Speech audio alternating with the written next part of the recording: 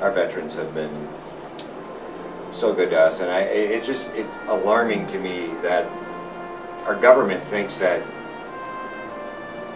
only nine percent of the vets deserve dental benefits. I mean, it, to me, that's just craziness. You know, God's given us certain gifts and certain talents, and uh, He's given the, that, that to us for a reason, so we could use them.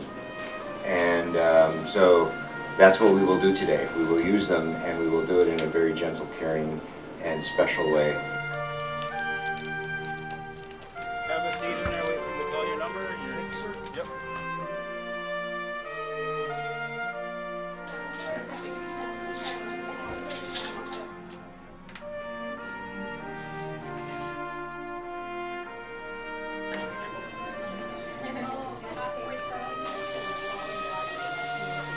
It's wonderful to see all of these people who have served our country.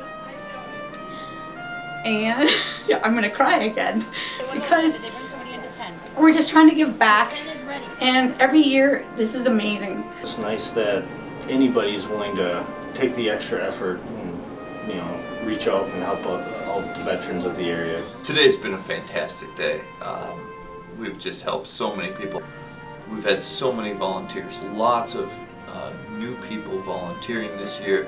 So the energy from the volunteers was just through the roof. Um, it was it was just such an exciting day. It's, it's such an honor to, to be with them and uh, to care for them. Uh, they've really taken care of us.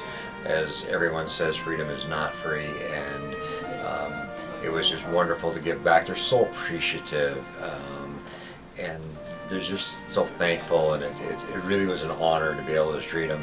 The team around, just everybody embraced them, and, and a lot of the vets came in and said, I can't believe everybody here, they treated me so well, it was great, and uh, we're a little tired, but it, it's all good, and it's, it's certainly a good tired, and um, we look forward to doing it again next year.